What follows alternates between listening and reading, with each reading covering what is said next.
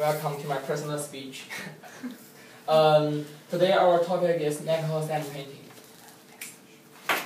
Um, before my formal introduction to our topic, let's enjoy some sand paintings first. Next. um, these, these following sand paintings were done by a famous sand painter in China. Next. um, I really love this dolphin, which is cute. And the motion of the dolphin is really vivid. That's one reason I like sand painting. Next. Um, this one is my favorite one, and I really like the atmosphere of the sand painting. Next. Um, and then let's enjoy another version of the sand painting. Next.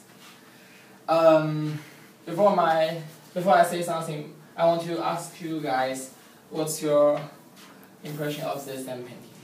Anyone want to answer me? That's primitive. Mm. Primitive. Um, to me, the, the overall feeling of this sand painting is weird. Uh, if you notice, uh, it's a human actually, and its head is a recta- rectangular shape, and it has a super long body, and then very very short tiny legs. I don't know why. Next. uh, this one is uh, even more weird. If you notice, it's a human as well, and you see his or her body. It's super long, and if you uh, look at closely, you will see this shape in this sand painting. See, and a black, uh, a white one. Well, as you can guess, these are Navajo and paintings. Next. so this introduced to my research research question: How is Navajo sand painting differentiate from traditional sand painting?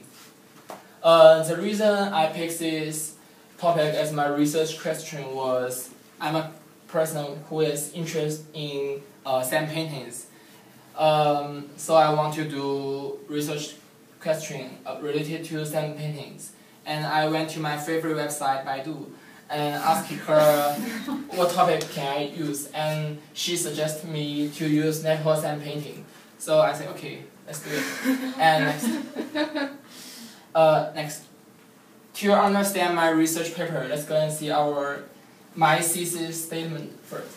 Uh, Navajo sand paintings can be explored through its uh, four elements, which are origin, process, purpose, and ritual uses. Um, but I'm not gonna discuss how the sand paintings are made and what's about sand paintings now. If you are interested, come to me and I will show you my research paper. Um, next. Okay, now is my sample paragraph. How I use knowledge I learned in my research paper. Next. Um, it's a little bit long. Uh, the first sentence, uh, I use what our professor taught us, the transition sentence, um, to make a smooth transition from the previous paragraph to this paragraph. Use my own words. And in the end, oh, it's not, I don't know, it cannot show the end. Uh, go back. Uh, in the end, I also use my own words to have a conclusion of this whole body paragraph. And if you notice, I used red marks to highlight two words. The first one is parallel 11. This is the last name of the author, and the 11 is the page number of the reference I used. And this one does not have a page number after it. The reason because it's an online article and it does not have a page, so I don't need to put a page number. Next. Um, from since then, I really think you have a question of what is Navajo next. Uh, the word Navajo uh, indicates actually they are Native American, which live in southwestern of the United States. They are a group of people, uh, Native Americans. Next. And this word is pronounced Likan, but I'm not sure if it's correct or not, because I tried to find its pronunciation in many ways, but there's only one way to so I'm not sure if it's right, correct or wrong. And then it means a Navajo word means place where the gods come and go. And this word is used uh, to describe the Navajo sand painting. So it, you can see the importance of the Navajo sand painting in the uh, Navajo ceremony. Next. Uh, this word is called ritual. It means a religious ceremony consisting of a series of actions performed according to a prescribed order. Um, from these three words, uh, it's easy to see that Navajo sand painting is not mainly um, made for aesthetic purpose, but for some ritual uses related to their uh, religious belief. Next. And as you all know, nothing is too easy to do, especially our important research paper. So the main challenge I faced is uh, time management. We have we've already have lecture about it, and the the difficulty I faced was next. Uh, homework.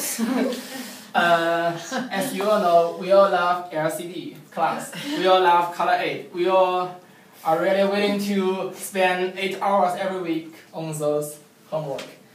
And my solution to this is to next uh, to make a plan, have a schedule, and do a little every day. Here, do a little every day is really important if you want to have a good research paper. Because if you do the research paper the night before the due, I'm pretty sure you will not really receive a good result. And so I mainly divided my research paper task every day. And next challenge I face is next um, MLA. Um, when I first heard the word, next, there were thousands of question marks in my mind. And then I thought of, wait, I heard this word before, like three or four years ago. And but I totally forgot what it's about. And next, so I used my own personal solution. Firstly, I went back to my favorite website, Baidu.com again. And unfortunately, this time she doesn't know.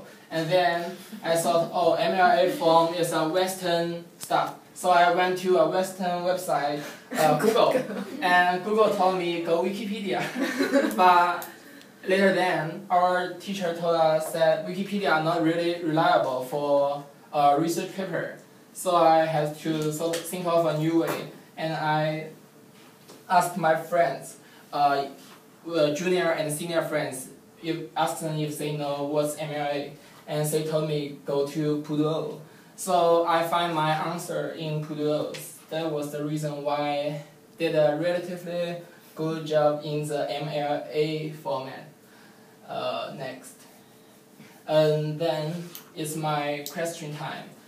Um, as an international student, we will have some trouble of the grammar and vocabulary. We are not sure whether the tense, verb tense is really appropriate to use in a sentence. And I know Pratt Institute is so kind that it has a writing center, but the writing center is only available one time once a week.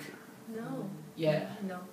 At least I went there and they told me you can only come here once a week. So, and like one hour, uh, in one hour. Really? Yeah. Okay.